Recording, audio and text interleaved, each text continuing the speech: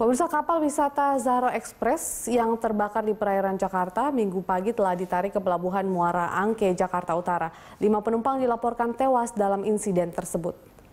Kapal wisata Zahro Express telah ditarik ke pelabuhan Muara Angke, Jakarta Utara. Hampir seluruh badan kapal hangus terbakar.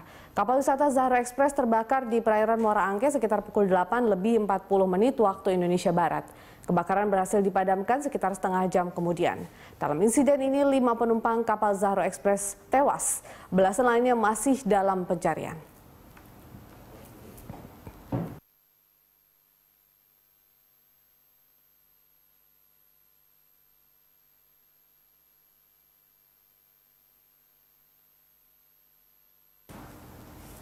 Sementara itu, sebagian besar korban selamat dibawa ke Pelabuhan Muara Angke, Jakarta Utara.